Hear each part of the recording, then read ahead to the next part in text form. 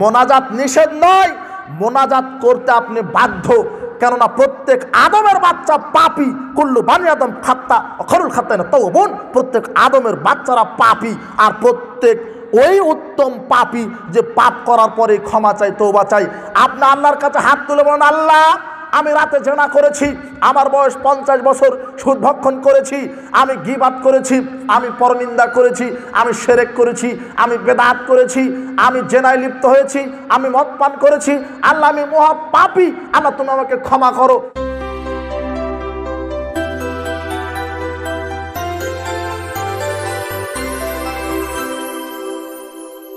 আসসালামু আলাইকুম রহমতুল্লাহ, আসসালামু আলাইকুম রহমতুল্লাহ। এইবারে সবাই মিলে শুরু করে দিয়েছেন। কি, সম্মিলিত? সম্মিলিত কি করে করছেন এখন?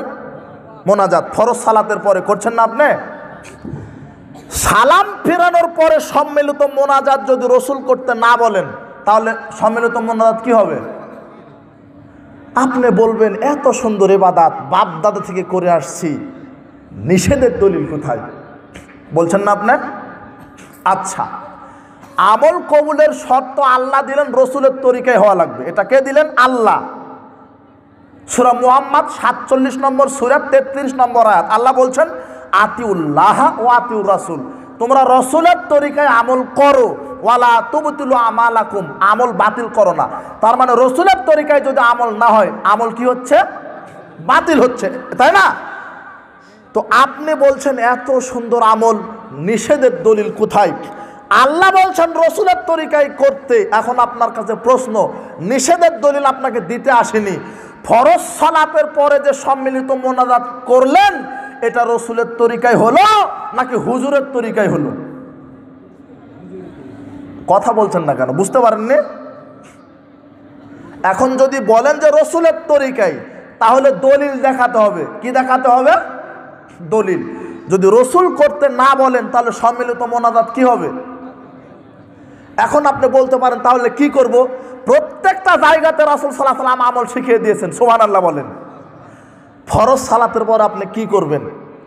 রাসুল সাল্লাহ সাল্লাম বলছেন, সালাম ফেরানোর পরে তোমরা বলবা একবার, আল্লাহ আকবার। কি বলবা? তারপরে বলবা আস্তাক ফিরুল্লাহ আস্তাক ফিরুল্লাহ আস্তাক ফিরুল্লাহ তারপরে তোমরা বলবা আল্লাহ মাংতাস সালাম অমিনকা সালাম তাবারক তিয়াজাল জালালি আল ইকরাম। তারপরে বলবা, লা ইলাহ শারিকা লাহু, লাহুল মুলক লাহুল হামদু। ওয়া আলা কুল্লি শাহিন কাদির। তারপরে বলবা লাহাউলা ওয়ালা কুওয়াতা ইল্লা তারপরে বলবা, আল্লাহম্মা ইন্নি আউযু বিকা মিন, মিনাল হাম্মে ওয়াল হাজানে ওয়াল আজে ওয়াল কাসালে ওয়াল জুবনে ওয়াল বুখলে ওয়াল জালাদ্দানে দানে ও গলাবা তিরিজাল এই দোয়া বলবা তারপরে বলবা আল্লাহমা ইন্নি আস আলুকাল হুদা ওয়া তুকা ওয়াল আফাফা ওয়াল গেনা। তারপরে বলবা আল্লাহমা ফেনি বি হালালিকা আন হারামিকা ওয়াগনেনে বি ফাদলিকা মান সিওয়াক। তারপরে বলবা সোহানাকা সোহান আল্লাহ ওয়া বিহামদিহি সোহান আল্লাহিল আজিম তারপরে বলবা তিনবার সোহান আল্লাহ ওয়া বিহামদিহি, আদাদা খালকি অরিদা নাফসি অঝিনা তারসি অমেদাদা কালেমাতি। তিনবার বলবা, তারপরে বলবা, ইয়া মুকাল্লিবাল কুলুব সাবিত কলবালা দিনিক আল্লাহ শরীফল কলুক শরীফ কুলুবানা তোয়াতিক এটা বলবা, তারপরে বলবা সোহান আল্লাহ তেত্রিশ বার, তারপরে আলহামদুলিল্লাহ তেত্রিশ বার, তারপরে আল্লাহ আকবার চৌত্রিশ বার। এক ভিক্ষুক, গরিব, দরিদ্র ব্যক্তি এসে বলছেন, আল্লাহর নবী, ধনীরা তো হজ জাকাত আদায় করে কোটি কোটি নেকি নিল। আমরা তো গরিব মানুষ, আমাদের তো নেকি ধনীদের থেকে কম হচ্ছে। ধনীদের সমান নেকি আমরা কীভাবে পাবো? কি করলে হজের নেকি হবে? কি করলে জাকাতের নেকি হবে? কি করলে কোটি টাকা দানের নেকি হবে? রাসুল সাল্লাম বলছেন, নিরাশ হয় না। ফরজ সালাতের পরে শুধু তেত্রিশ বার সোহান আল্লাহ বলবা, তেত্রিশ বার আলহামদুলিল্লাহ বলবা, আর চৌত্রিশ বার আল্লাহ আকবার বলবা। যদি এই তাসবি পড়তে পারো, তাহলে কবুল হজের নেকি আল্লাহ দিবেন। কোটি টাকা দান করলে কোটি টাকা দানের নেকি দিবেন। কোটি টাকার জাকাত দিলে যেই নেকি হয় সেই নেকি দিবেন।